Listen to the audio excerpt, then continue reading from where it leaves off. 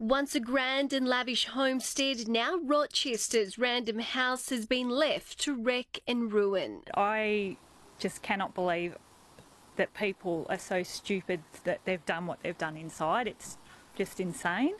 The lack of respect. Since extensive flood damage in 2011, the state government owned site has sat empty.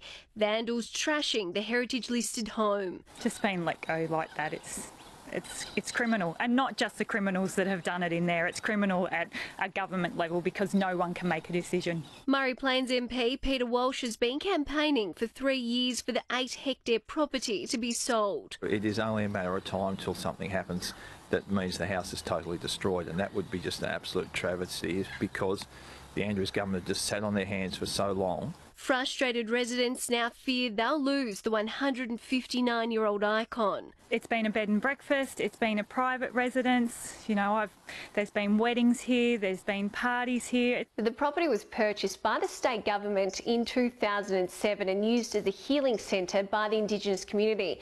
But now, in such a shocking state, it's the house that needs healing. The Andrews government says it's in consultation with the Aboriginal community about the site and a decision on the sale is expected imminently. All they have to do is ring up an estate agent, put the sign up, and actually make it happen. Sarah Lawrence, 9 News.